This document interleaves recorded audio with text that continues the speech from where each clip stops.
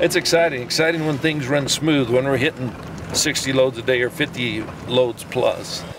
Production's what you have to look forward to, and that's why you like to see the trucks coming out. We're out there trying to protect uh, the forest from fires. We're the guardians, you might say, of the forest. My name is Steve Reedhead. I'm a logger. In fact, my great great grandfather actually logged in the early 1800s here in the White Mountains. Now, I used to log with a horse when I was a young man for the paper mill, but now we don't do that. It's all equipment and all computerized, easier way to log. Back in the 80s, when the environmental issues became very prevalent, that's when they didn't want you to cut any big trees, and that's where your margin of money was. And so pretty soon the industry left. I think the uh, Rodeo Chediski finally woke the environmentalists up, said that we can't continue not to cut trees. Good evening from the Show Low area. The fire cloud remains above us tonight. Nearly 200,000 acres have burned. As you near Show Low on Highway 60, this is the scene. Almost like a nuclear bomb has exploded. We have property that happened to be right in the path of the fire. 500,000 acres, Several atomic bombs worth of energy were released into the atmosphere. All of our neighbors, their homes were burned to the ground.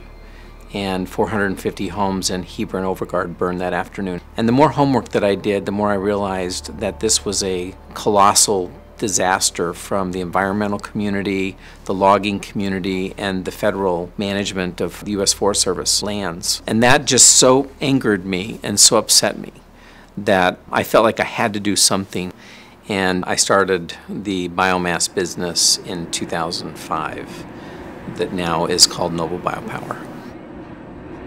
A biomass facility is like most other fossil fuel facilities. We take wood, biomass, and we take all waste woods, grind or chip them, and then we put it into the bed of a boiler in hot boiling sand and create heat. That heat warms water, creates steam, and you turn a turbine, just like a coal plant or a natural gas plant. We generate about 27 and a half megawatts an hour. Uh, that's enough to power some 20,000 homes. That would power the homes of the White Mountains.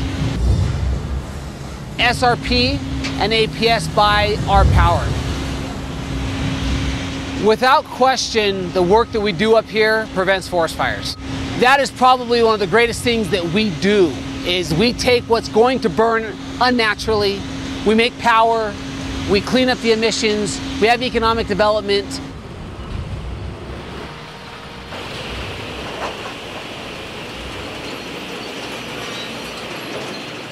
The big problem is, is that there's not enough biomass operators here in Arizona. We have a few that are really making a difference in the White Mountains, like Novostar Power. Their ability to take biomass greatly helps us do the work that we do in the woods by taking some of the small diameter material and converting it into power.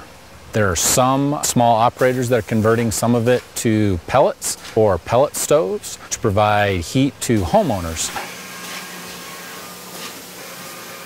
This is our final product. It's a quarter inch diameter wood pellet. They're used for fuel for a high-tech wood stove. We make about 3,000 truckloads of this every year.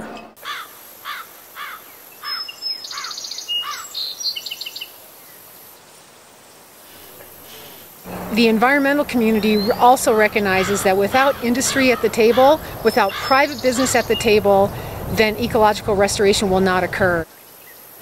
We are in Woodland Lake Park, so it was thinned with the goal of reducing the fire danger in this community park. And you can see that the focus of the treatments were cutting smaller diameter trees and some of the unhealthy trees to make a safer park and to restore the forest. Has the partnership between the environmentalists and uh, industry become a win-win? I completely say yes, yes, yes. You not only take out the trees that you can make logs out of, they also go into your smaller trees and thin those out so that the, the fire does not get going. Because logging is such a tough industry, I didn't want to have any of my children to follow suit.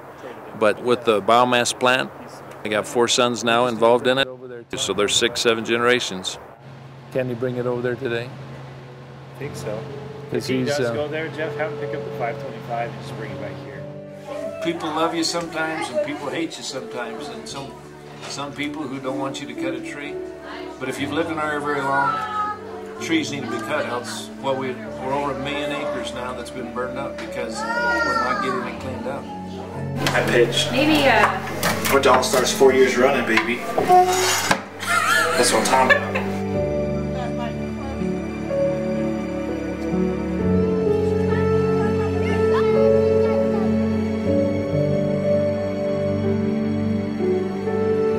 At this time, the Forest Service is really making progress in uh, getting up the timber cells that we need in order to move forward. But to move more quickly, we need more contractors, logging contractors, more industry in order to handle the lumber and the biomass removed from the forest.